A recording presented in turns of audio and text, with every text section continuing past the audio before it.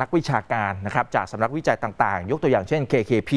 ตอนนี้ก็มีการปรับเป้าประมาณการตัวเลข GDP ลงมาอยู่เหมือนกัน ก็เป็นผลพวงจากโควิด -19 ระลอกใหม่นี่แหละครับ เป็นการวิจัยจากกลุ่มธุรกิจการเงิน เกียรติคินพัทระนะครับ ปรับลดประมาณการตัวเลขเศรษฐกิจลงมาอีกครั้งหนึ่ง มีการทยอยปรับมาอยู่หลายครั้งหลายคราอยู่เหมือนกันนะครับ จากเดิมครั้งล่าสุด มองกันไว้นะครับว่าจะเติบโตได้ประมาณ 2.7%ตัวเลขลดลงมาเหลือเพียงแค่ 2.2%นะครับ เป็นผลจากการแพร่ระบาดระลอกใหม่ในช่วงเดือนเมษายนที่ผ่านมา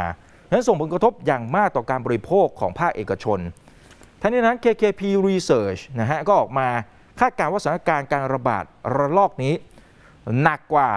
รอบที่ผ่านมานะฮะโดยเฉพาะในเดือนมกราคมนั้นคาดการณ์ต่อนะครับว่าต้องใช้เวลาประมาณสัก 2 เดือนในการควบคุมการแพร่ระบาด เพราะฉะนั้นการประเมินว่าการประมาณการตัวเลขเศรษฐกิจยังคงมีความไม่แน่นอน อันนี้สูงมากครับ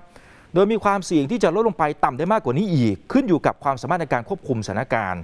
การแพร่ระบาดโควิด -19 แล้วก็มาตรการที่จะนำมาใช้เพื่อเป็นการควบคุมการติดเชื้อ โดยสิ่งที่ภาคธุรกิจยังคงเป็นห่วงกันอยู่นะครับ โดยเฉพาะภาคการท่องเที่ยว ที่ถือว่าเป็นกลุ่มธุรกิจที่น่ากังวลมากที่สุดเนื่องจากว่าได้รับผลกระทบโดยตรงจากการแพร่ระบาดและการเปิดรับนักท่องเที่ยวที่ล่าช้า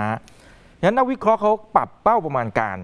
จำนวนนักท่องเที่ยวจาก 1 ล้านคนเหลือเพียงแค่5แสนคน ในปี 2564 นี้ครับ อีกประเด็นที่นักวิชาการเขาแสดงความเป็นห่วงนะครับ คือไทยมีการฉีดวัคซีนค่อนข้างจะช้า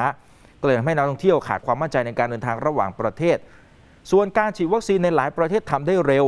และหลายประเทศจะสามารถกลับมาเปิดเศรษฐกิจได้อย่างเต็มที่ภายในปีนี้ ซึ่งในปัจจุบันครับคุณผู้ชมประเทศเศรษฐกิจขนาดใหญ่อย่างประเทศสหรัฐอเมริกาสามารถฉีดวัคซีนได้มากถึงวันละ 3 ล้านโดสทำให้คาดการได้ว่าสหรัฐอเมริกาจะเข้าสู่ภาวะภูมิคุ้มกันหมู่ ภายในช่วงไตรมาสที่2ถึง3ของปีนี้ ในขณะที่ทางฝั่งของยุโรปคาดการว่าจะเข้าสู่ภาวะภูมิคุ้มกันหมู่ได้ ในช่วงไตรมาสที่ 3 ถึงไตรมาสที่ 4 หมายความว่าอย่างไร หมายความว่าประเทศเศรษฐกิจหลักๆหลายแห่งเนี่ยนะครับก็จะสามารถกลับมาเปิดประเทศได้ เต็มที่อีกครั้งหนึ่งภายในปีนี้ ส่วนทางฝั่งของนโยบายการเงินและการคลัง KKP Research เนี่ยเขาคาดการณ์นะครับว่าในระยะสั้น ๆ นโยบายการคลังจะยังคงเน้นไปที่การใช้มาตรการเยียวยา ประเภทที่เป็นเงินโอน อันนี้อาจจะมีการใช้ต่อไป โดยจะใช้งบประมาณจากวงเงินพรกเงินกู้ฉุกเฉิน 1 ล้านล้านบาท ที่ตอนนี้ยังเหลือวงเงินประมาณ 250,000 ล้านบาท ภายใต้กรอบวงเงินงบประมาณฟื้นฟูเศรษฐกิจครับ และคาดการต่อด้วยนะครับ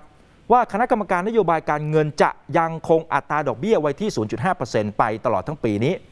ถึงแม้ว่าจะมีการระบาดระลอกใหม่ที่กระทบต่อการฟื้นตัวของเศรษฐกิจ แต่ว่ามาตรการส่วนใหญ่ก็จะเน้นไปที่การใช้มาตรการด้านสินเชื่อ และการปรับโครงสร้างนี่เป็นหลักครับ